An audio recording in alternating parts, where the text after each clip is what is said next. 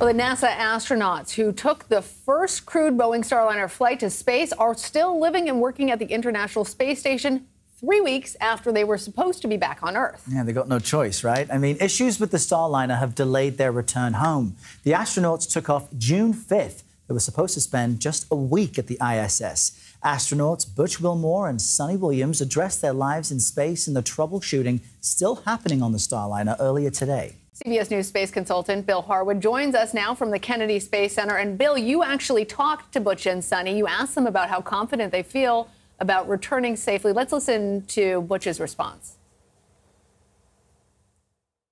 We're absolutely confident. We've already, as Suni mentioned, for Safe Haven, we had that uh, uh, test, not just the, the, the test, but also to, to, do it for real when we had that possible conjunction a few weeks ago.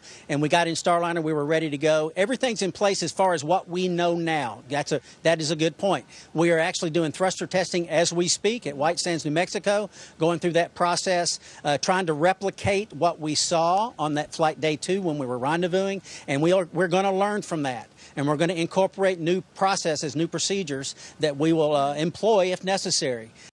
So there's always uncertainty when it comes to space travel, but still, uh, given how the Starliner had so many issues leading up to this launch, what does all this say to you? Uh, you know, I think I, I, go along with what Butch Wilmore said. You know, they are test pilots. This is a test flight. As you said, this is the first time people have flown aboard the Starliner.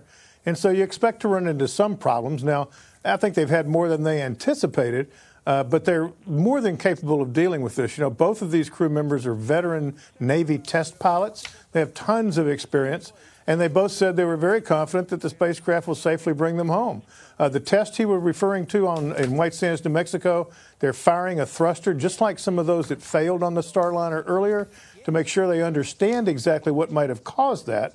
And if they have to, they'll change the procedures the crew will use when they undock from the station and come home. But right now, uh, they're both confident that they've got a safe vehicle, and I think we have to take them at their word for that. We'll have to wait and see how the testing comes out. And despite Suni looking like she's, you know, freaking out, her hair is standing on end because it's zero gravity. She's totally cool and calm. But what then are they learning during their extended time on ISS, since that is the entire point?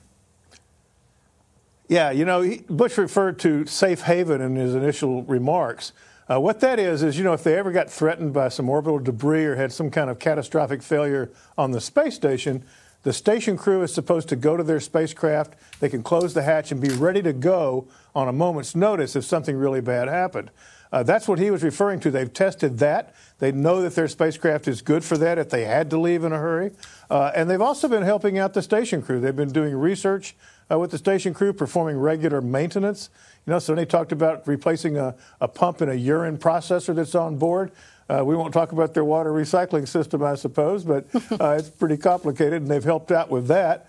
Uh, so they've had they've, they've been busy. They even had a chance to get uh, some window time and and marvel at Hurricane Beryl. You know, as it barreled in toward Houston, where the Johnson Space Center and where their homes are fascinating. I guess that's the example when you make the most of whatever situation you're in. Astronauts know how to do that. Bill Harwood, thanks so much.